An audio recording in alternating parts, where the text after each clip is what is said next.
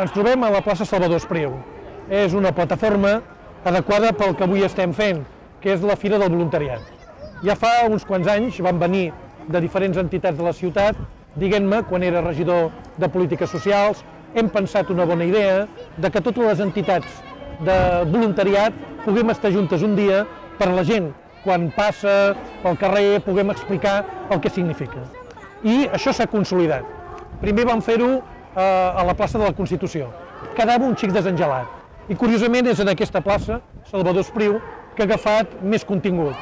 Molta gent va al mercat, passa per aquí, comenta les coses, se n'entera de que en aquesta ciutat és una ciutat molt rica, no en història solament, sinó molt rica en entitats. Entitats de tota mena que intenten de manera, de manera solidària eh, ajudar els altres.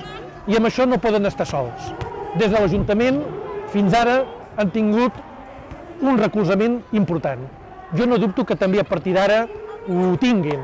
Nosaltres, des de l'oposició, estarem amatents de que aquestes entitats mai caminin soles, perquè la crisi té uns efectes perversos que no són solament els individuals en cada un que perd la feina, sinó perversos en la col·lectivitat, generant egoisme, generant, bueno, si aquest eh, és pobre, doncs allà ell, eh, poder és que no treballa prou, eh, poder el que els diners que tenim els gastem amb nosaltres, amb els que tenim feina.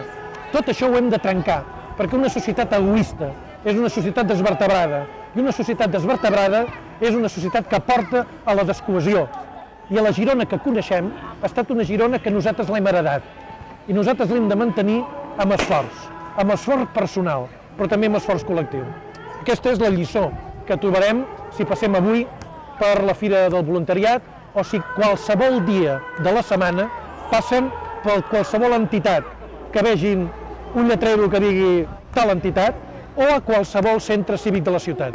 Saben que els centres cívics de la ciutat estan oberts a totes les persones.